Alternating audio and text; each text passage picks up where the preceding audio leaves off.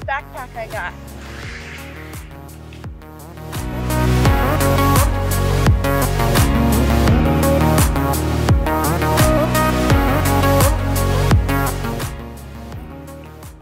This is my Nimbus Trace that I got from Granite Gear.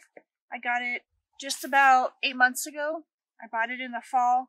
Did some hiking all through the winter time.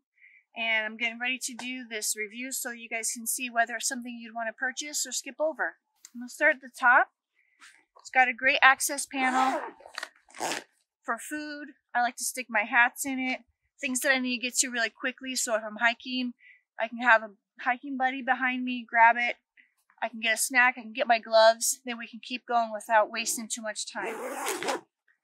It also has this quick little snaps that I can stick my jackets on, things like that if I'm getting hot, stuff them in, strap it down, keep going. This top pouch here can be taken off and used as a fanny pack for quick day hikes. Um, once you're at your campsite and you want to go get water or just kind of scout around, you can take some necessities with you and then you don't have to take this whole bag and stay at camp. All right, so opening up the top here,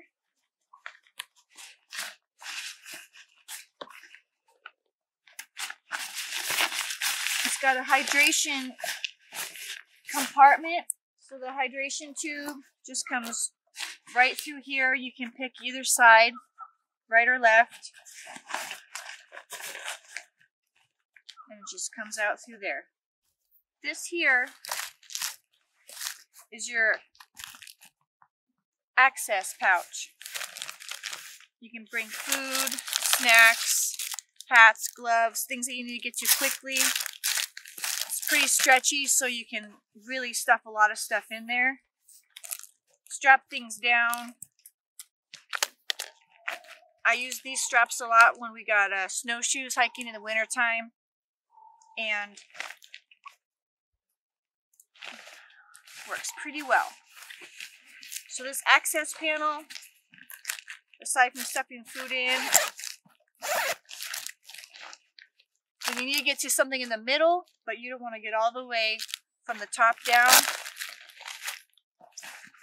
you have these straps for extra compression, but you can also just get to stuff real easily. Med kits, things like that if you're just having to stop on the trail. Pretty handy. We have these loops down here. They're for trekking poles. They're for ice axes. But I personally like to keep my trekking poles on the side, strapped down. It's just how I like to roll. Speaking of the side, we've got these pouches here. It's the same material as this access pouch. It's pretty stretchy. It's mesh, um, so things can breathe in, breathe really easily in it. Uh, over on this side, you can see how much give it has. I like this because it actually does compress down and hold these water bottles in. And uh, my other backpack, they would just fall out all the time. So this is really impressive to me that it really just stays in there.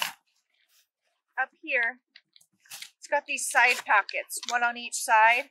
Material is a little bit thicker, but it's really stretchy. So you can stuff light um, lights in there, batteries, uh, things that you just need to get to quickly. So these straps here, you've got adjustable heights that you can put this at, chest strap. Um, mine's at the very highest it can go. You got the load lifters right here. This webbing here is for additional pockets. I don't have one on now, but oftentimes I've got one and I'll stick my sunglasses in it, things I need to get to pretty quickly, my cell phone, and it's just right there, easy to get to. So depending on your height, it's got this really easy adjustment section. It's got multiple holes and um, you can go a little bit wider if you need to, higher, lower.